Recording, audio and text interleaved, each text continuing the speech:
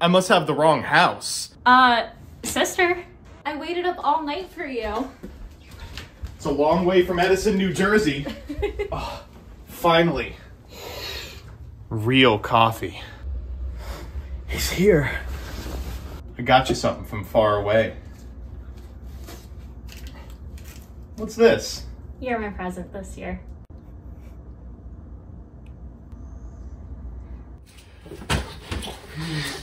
What are you two doing?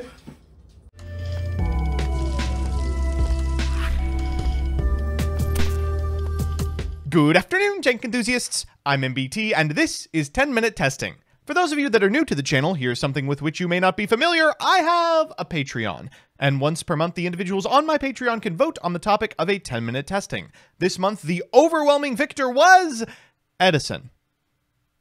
Like, the format. So I'm going to take a page from 2020 Joseph and try and give you a quick introduction into three of the format's most fun decks. Presenting Edison format. And don't worry, I know you Subway Surfer freaks don't have the mental capacity to sit through a 10 turn game, so I deliberately picked some of the most explosive replays I got. Here they are. But first, this video is sponsored by Yu-Gi-Oh! Pro Deck. Yu-Gi-Oh! Pro Deck is the number one place to go if you need a pack simulator, a card database, or want to read a wealth of strategy articles. They also post breakdowns and lists from every major TCG and Master Duel tournament, including the Master Circuit series. Give them a look at www.ygoprodeck.com. So with that, let's begin with my personal favorite deck in the room, Diva Hero Beat. This deck's an evolution on an evolution. The Homo sapiens to pre-Time Wizard Edison's Hetero sapiens, this deck innovates two separate archetypes. Firstly, the anachronistic Diva Hero list, a combo-oriented strategy that makes use of Malicious and Deep Sea Diva to frequently set up an Armory Arm and Colossal Fighter OTK. And secondly, the Room Temperature IQ Hero Beat, which aims to use Neos Alias, Skill Drain, and Gemini Spark to control the game, one Gemini Elf at a time.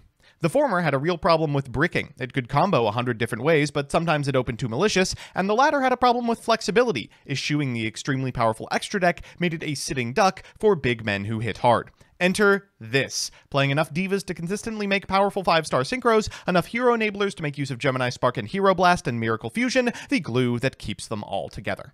So with that, let's get into the card by card. We've got one copy of DD Warrior Lady, searchable off of ROTA, three Deep Sea Diva, three copies of Neos Alias, which is a Gemini monster, which when normal summoned becomes Neos Alias. You will almost never do this. One copy of Elemental Hero Ocean, which during your standby phase can target a hero monster you control or in the graveyard, return it to the hand. Obviously, getting back Stratos is incredibly powerful, but importantly, this is also a water hero, fulfilling both halves of Ab Zero. We've got one copy of Stratos, two Honest, and two Spined Gillman. Make no mistake, this is the best card in the deck.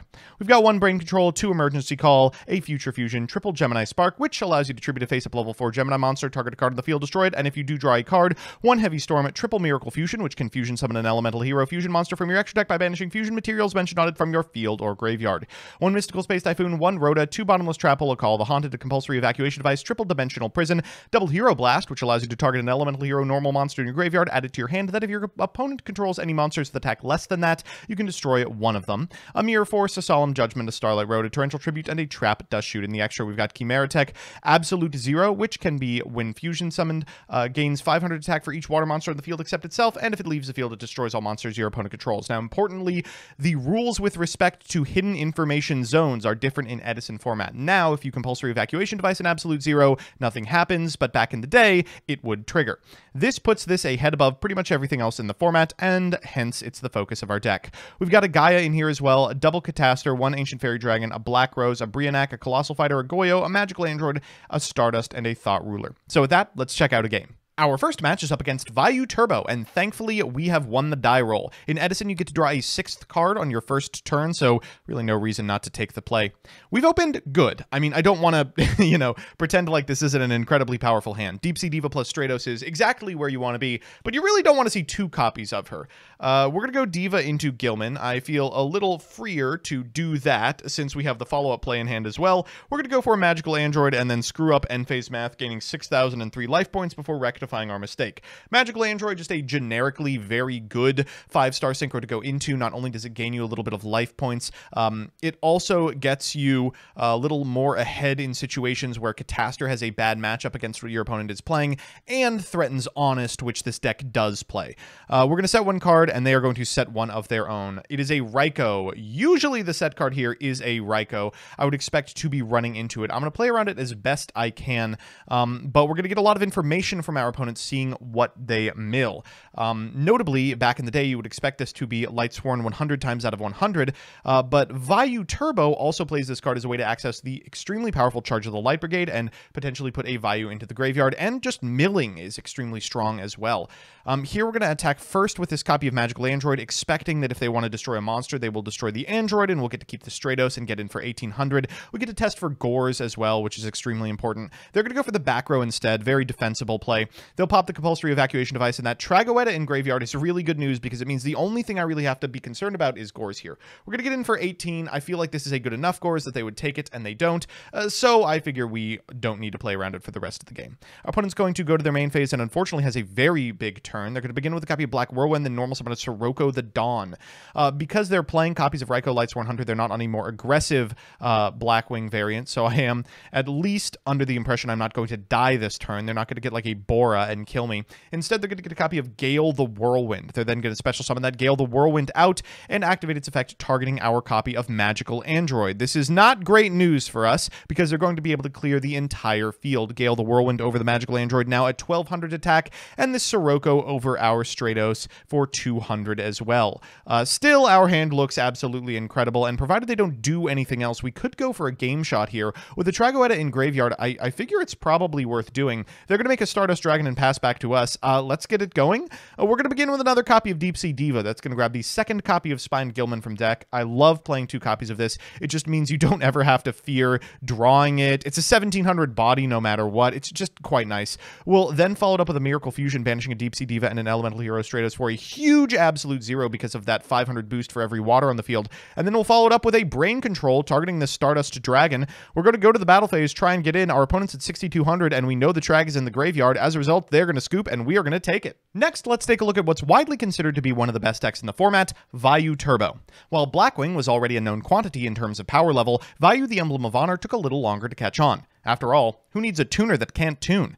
Well, it turns out in a format full of Armageddon Knight and Dark Grepher, getting monsters into the graveyard isn't particularly difficult.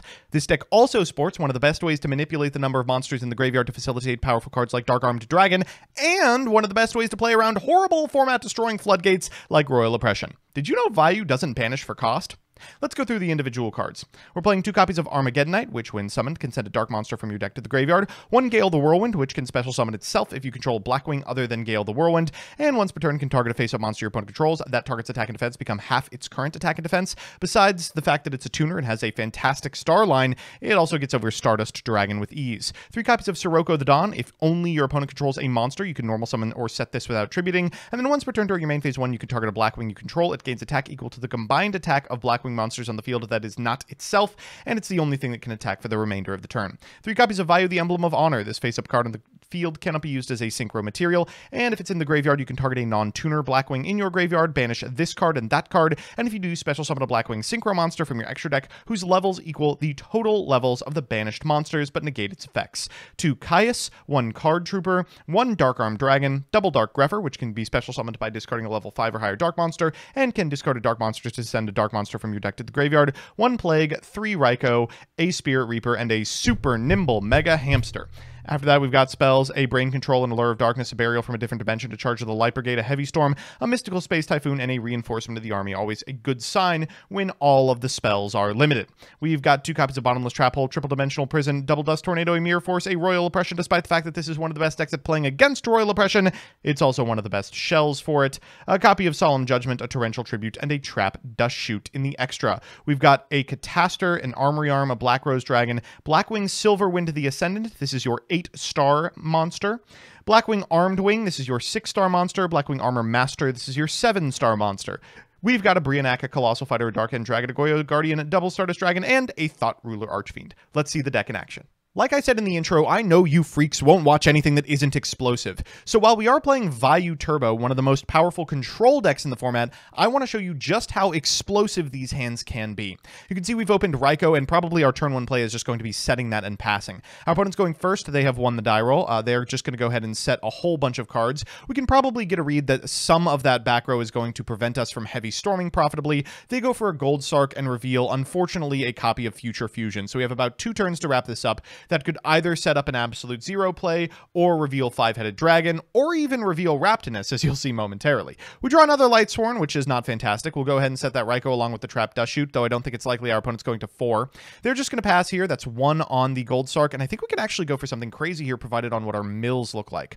We're going to flip up this copy of Ryko. We're going to activate the effect. This Ryko is going to target the monster, and we find it's a masked dragon. Okay, we now know it is dragons. We'll mill three, and those are three really good ones. We'll follow it up with the charge of the Light Brigade. We will mill an additional three, an Armageddon Knight, a Vayu, and a Spirit Reaper. That's three darks, one of which we can modulate. So here, after adding that third Ryko to hand, we can go ahead and activate the effect of the Plague Spreader in Graveyard, taking a card from our deck and putting it on top of our deck in order to summon the Plague Spreader from the graveyard. Now we have three darks in our graveyard, so we're able to just special summon out this Dark Arm Dragon. I call priority, but there is a summon window, and our opponent is going to fire off this copy of Solemn Judgment in response to our Dark Arm Dragon, so we're not going to be able to pop anything.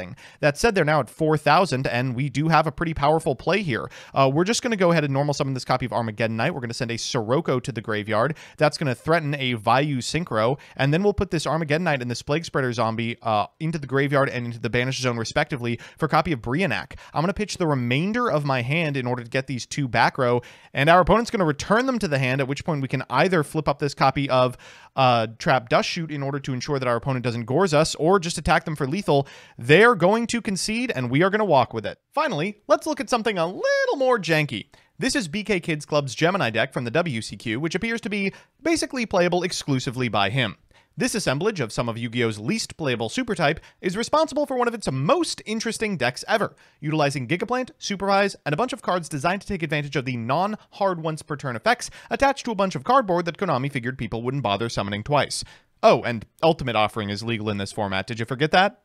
Let's go through the card by card.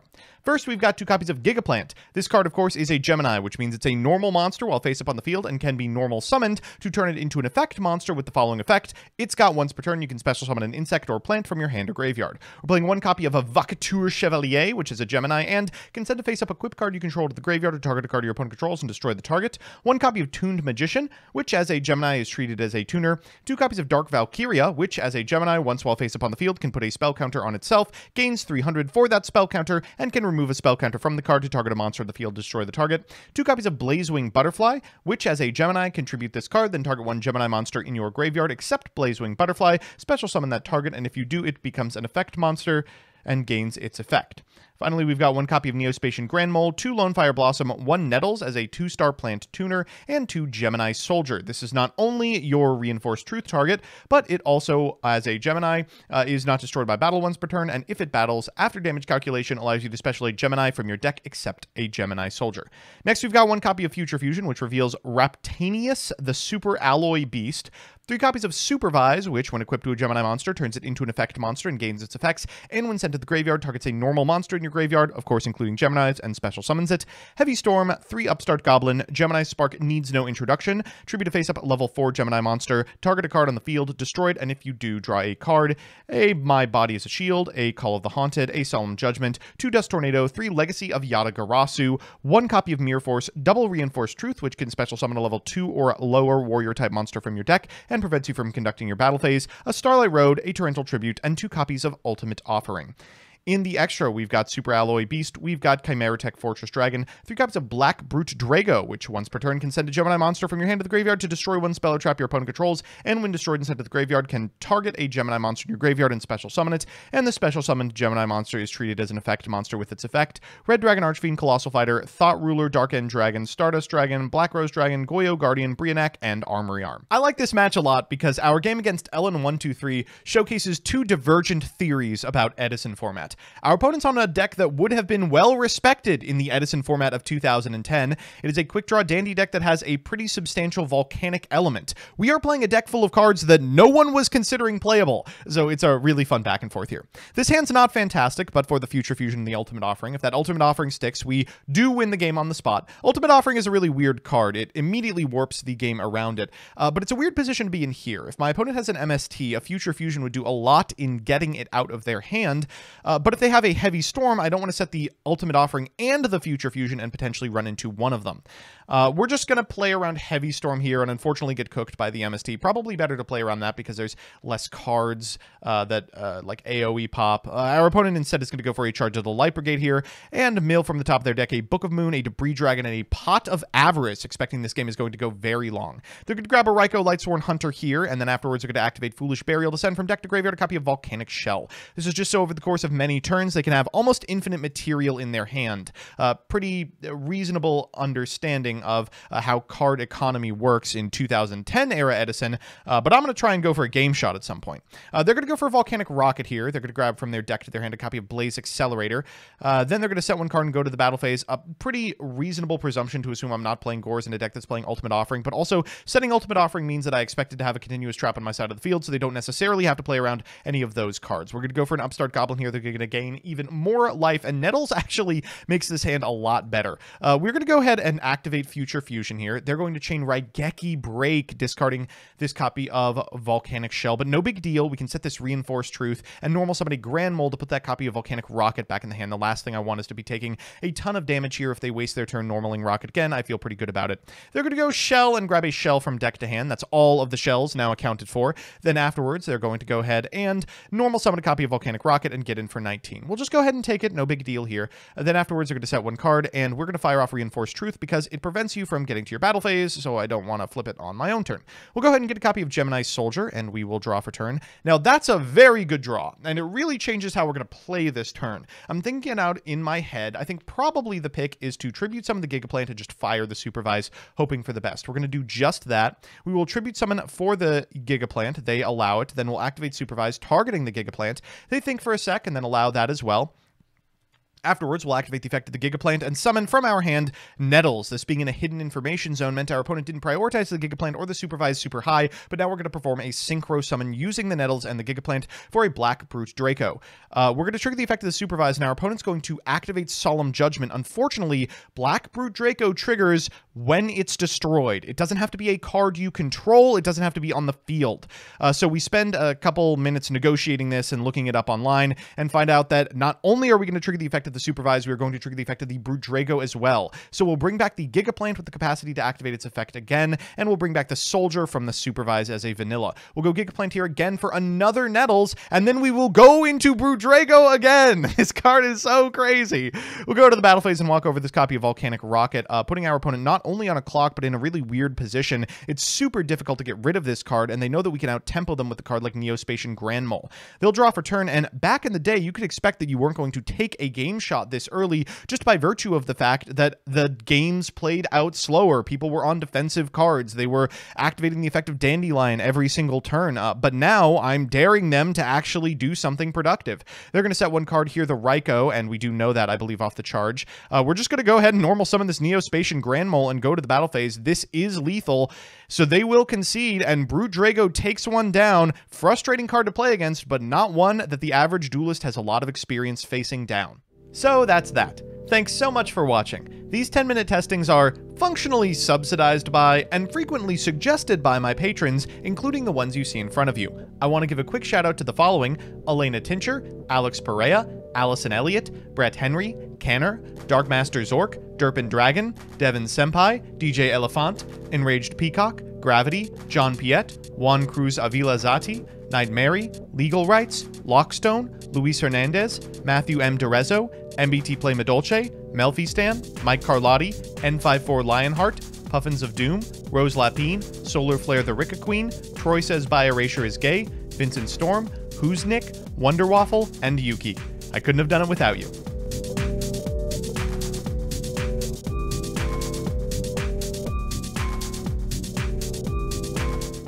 The best part of waking up Is Folgers in your cup?